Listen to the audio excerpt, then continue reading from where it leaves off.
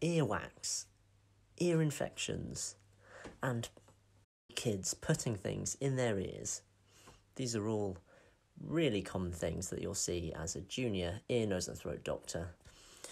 And if you haven't guessed it, today's ENT Bite is about the external acoustic meatus, also known as the external auditory canal. So, what is the external acoustic meatus?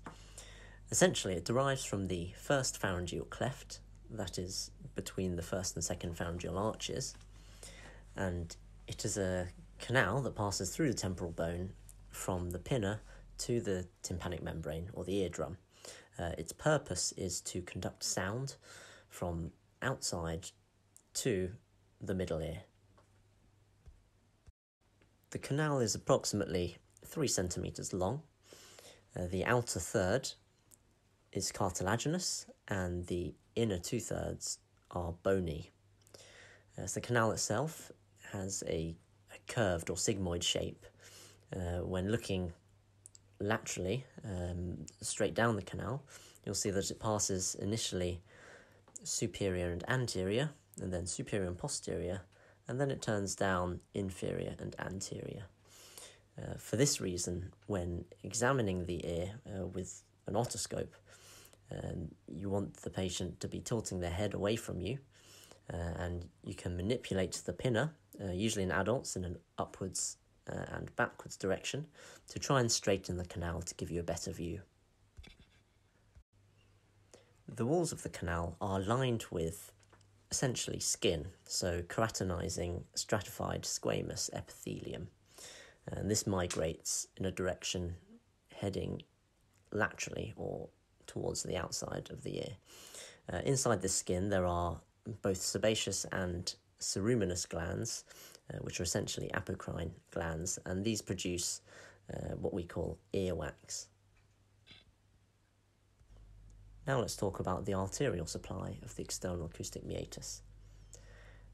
Essentially, it's the same as the supply to the pinna, uh, and I recommend that you pause the video now to test yourself on them.